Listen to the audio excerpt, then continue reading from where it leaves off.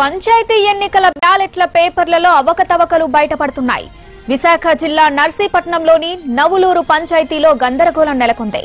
ఐదో వార్డు మెంబర్గా పోటీ చేస్తున్న బొంకుల రాజులమ్మ గుర్తు బ్యాలెట్లో లేకపోవడంతో ఆందోళన వ్యక్తమవుతుంది. ఎన్నికల అధికారుల నిర్లక్ష్యమే కారణమంటూ అభ్యర్థులు ఆరోపిస్తున్నారు.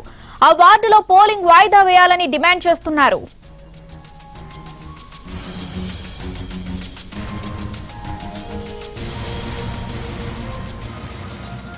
రాజులమ్మ గారి యొక్క గుర్తింపు ఈవేళ గల్లంతయింది అయితే ఈరోజు మనకి పోలింగ్ అధికారుల యొక్క నిర్లక్ష్యం కారణంగా ఆ గుర్తు ఈరోజు బ్యాలెట్లో రావడం లేదు. దీనివల్ల మాకున్నటువంటి ఓటర్లందరూ కూడా అయోమైన గుర- గురై గెలిచే అభ్యర్థితత్వం కూడా లేకుండా పోయింది. కనుక వెంటనే ఆ వార్డు పట్ల ఈ అధికారులు చర్యలు తీసుకొని మళ్ళీ దాన్ని రీపోలింగ్ చేయవలసిందిగా సంబంధిత అధికారులందరూ కూడా డిమాండ్ చేస్తున్నాం.